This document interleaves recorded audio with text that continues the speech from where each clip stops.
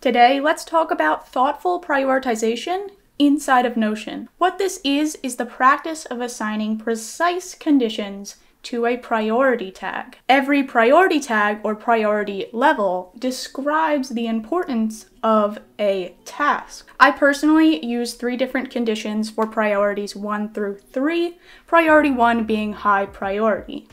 Those three conditions are urgency, effort, and impact. I like having low effort, high impact, or high urgency at the very top of my list, down to the bottom, which is high effort and low urgency. Let's transform all of these conditions into one single formula. Let's get right into it. But first, why would you do this? Why would you automate a priority tag? Well, if you're someone like me that has a hard time with priority tags, I never really know what to assign them. So what I did inside of my own database is I broke it up into these three select properties. What goes into a priority? The effort or the difficulty? Is this a quicker task I can get done or is there a fair bit of learning I need to do in order to achieve this? Also urgency. Is the due date coming up? Do other tasks behind it have deadline sensitivities that need to be addressed. So I need to do this task really quickly in order to get all the rest done. Impact, course, that just means importance. If this task does not get completed, will that affect my goal poorly? Or what level of disruption will that create? So a lot of people use priority tags inside of their database. Like for instance, if you're coming from uh, my Notion from Day One playlist, Project Roadmap actually has a priority tag from P1 to P4. I want to turn this into a formula. So this formula is going to take three different conditions. Here are my conditions for each priority from one to three. So what you're gonna get here is all of my tasks of low effort and high urgencies first, and all of my tasks of higher effort and lower urgency last. Everything in between will land in priority two. That's the logic we're gonna use here. And there is an empty or an empty formula database at the bottom of the link below so you can follow along. So let's say if, this is an if condition. So if this, then display that. So if this, display that, otherwise display that. So this last bit is going to be the false condition. So if, let's look at our first condition here for priority one, urgency does not equal low. So I'm gonna click urgency and I'm gonna use the contains function to wrap around. I'm gonna say contains low wrap that around another parentheses. So we're looking at this right here. If urgency contains low, but it does not contain low, so let's put a not before it. If it does not contain low, then priority one. Otherwise an empty space. So that's what it's gonna look like so far. Let's give it some more conditions. And effort does not contains in effort comma, high. So now we're able to narrow it down a bit. And not contains in impact, comma, low. And there you go. We have our first if statement created. Now we're gonna add the next if statement for priority three. It is very similar to one, we're just changing it around, we're inverting it essentially. So an easy way to sort of duplicate this is to take this if statement up to priority one, copy, and paste. Make sure there's a comma before the false condition, and that there is another parentheses at the end, closing out two if statements. So I can locate after our first if statement, and it says not contains urgency low. Let's invert that to high. The next one from high to low, and low to high. And priority three is the outcome. Otherwise, just display priority two. We can go up to this filter here that only shows that done is unchecked. And let's remove that for a moment to look at all of the priority tags.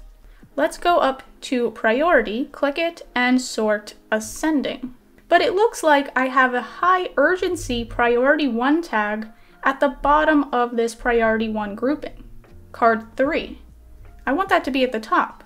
So I'm going to add more sorts, and I can go to effort and sort descending, lowest effort at the top, urgency ascending.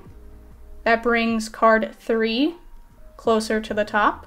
Of course, card 9 with a low effort is at the very top.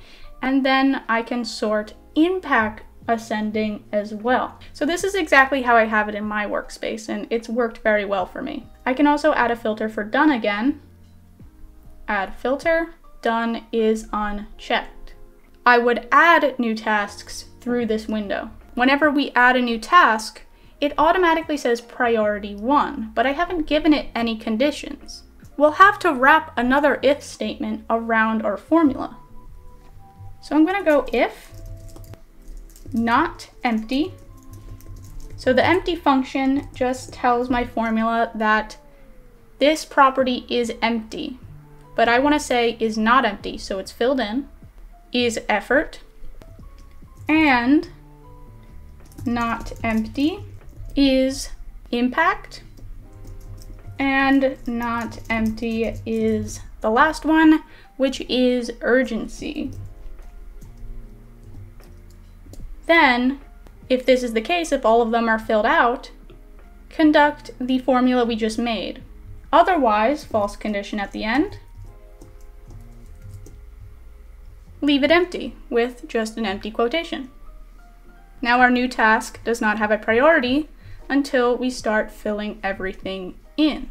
And of course, when you're done the task, it will disappear into archive because that filter says done is unchecked and archive says done is checked. Okay, so looking at these designated priority database views in priority one, for instance, I can just add one single filter and say, and priority, the formula contains one. Same goes for two and three. I can also add that sort to each one of these database views. So sort by effort descending, urgency ascending, and impact ascending. One last thing. Just like in filters, you have two options. And and or. You can translate that inside of a formula as well. So you can translate the or condition. Let's replace priority one with equals, low, or moderate which is basically saying the same thing, right? So if we go back into this formula and look at where that is, right here is our first if statement. It says and not contains an effort high. Instead, let's say and replace that or with or parentheses contains an effort low, comma, close out that or which is a nested OR statement. We're telling the formula that contains an effort low or separated by a comma, and I can just copy this, contains an effort moderate.